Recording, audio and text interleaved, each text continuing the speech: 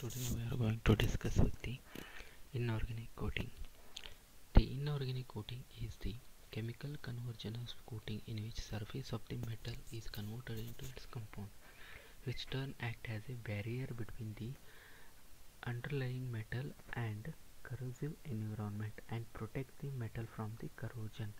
Here, metal is surface itself is converted into inorganic compound so that it is in become as a inorganic coating and it will act as a barrier between environment and metal surface so that metal will not come in directly contact with the environment and it is prevented from the corrosion. In the inorganic coating first one is that phosphate coating. In the phosphate coating thin film of metal phosphate co coating gets deposited on the metal surface due to interaction of surface atom of the base metal and certain metal phosphate in aqueous sol solution of phosphoric acid. The phosphate coating are generally used to coat iron, steel and zinc, lesser extent to aluminum, cadmium and tin. A chemical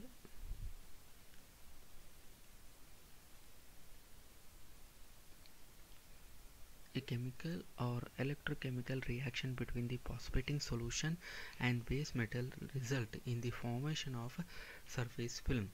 The surface coating is obtained above on the metal surface due to offer complete resistance to the corrosion.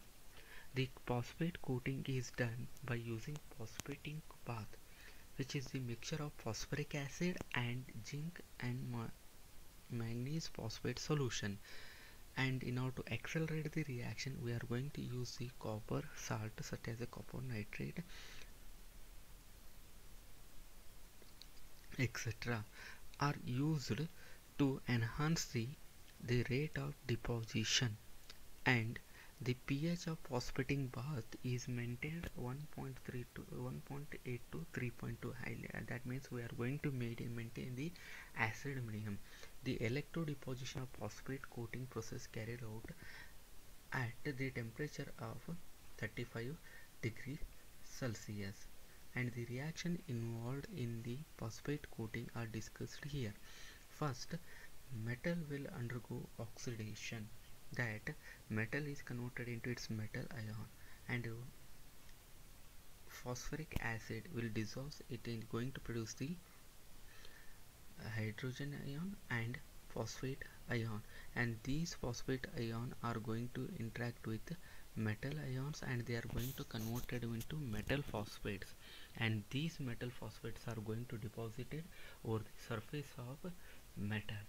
And these phosphate are resistance towards the corrosive environment so that it will act as a barrier between environment and metal surface so that our metal will remain from the corrosion.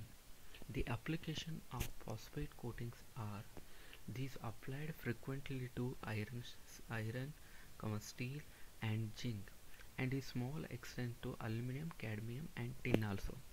Iron and manganese phosphate coating are used to reduce the wear due to friction due to the friction of piston ring, cylinder lining and of automobile. Anodization